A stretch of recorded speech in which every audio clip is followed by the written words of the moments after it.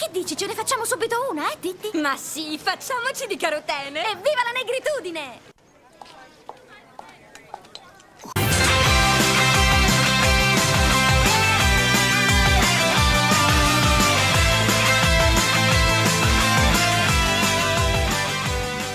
Salve a tutti ragazzi, sono Ashura e questa è una nuova puntata di Ashura's Corner. Yeah! Oggi vi mostrerò la seconda parte delle action figure delle Girls Memories uscite fino adesso. Sto parlando ovviamente della serie di Sailor Moon.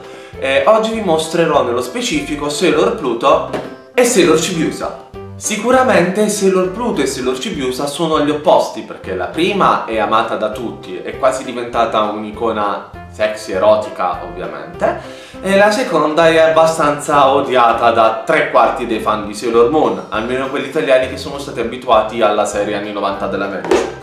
Sailor Pluto sicuramente è una delle Sailor più sfigate, è una Sailor Mina Joyan, io non ho mai vista farle un sorriso e ha il compito di sorvegliare la porta del tempo.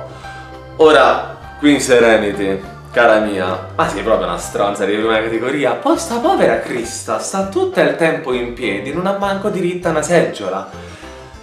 Con tutti i soldi che hai, che ti sei fatta il castello, il castello, il palazzo di cristallo, potevi regalarle almeno una sede. E eh, che cazzo. Invece la seconda, Sedor Cibiusa, è poverina, una povera sfigatona che ha avuto, uh, diciamo, il feedback negativo, anzi quella che ha avuto più mazzate dalla serie degli anni 90 della Mediaset. In quanto nella, in questa serie, anzi in quella serie, era stata descritta, etichettata un, come una rompipalle scesa dalla, sulla terra con il fine di scassare tutti i giorni con i picchi, lamenti o altro. Ma effettivamente Sailor Cibiusa non è così, diamo, di, diamo la verità, diciamo la verità. Sailor Cibiusa nel manga è tutto tranne che una peste e libertà. Ovviamente una ragazza, si parla di una bambina, non ti puoi aspettare un, di, un discorso filosofico alla Pluto che ti fa scendere latte le ginocchia. Però non era così fastidiosa come lo era negli anni 90. E qui mi parte l'hashtag salviamo Sailor Cibiusa.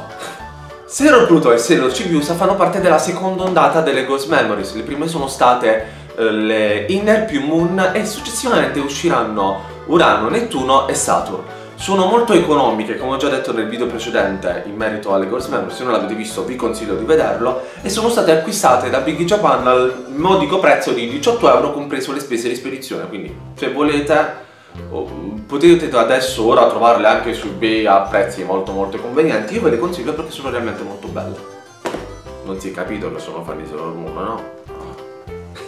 Queste sono le scatole delle nostre action figure. Come potete vedere sono molto simili, anzi sono identiche alle scatole delle altre Girls Memories. Cambia solo ovviamente la protagonista. Come potete vedere questa è la scatola di Pluto. Mentre questa è quella di Cibiusa.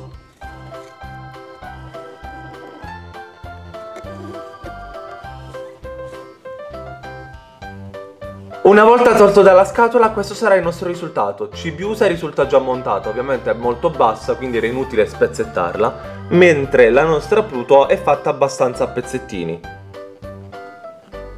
Una volta assemblate questo sarà il risultato finale. Ecco la nostra Sailor Cibiusa in tutta la sua bellezza. Ovviamente c'è sempre la base con il colore della nostra Sailor, in questo caso il rosa.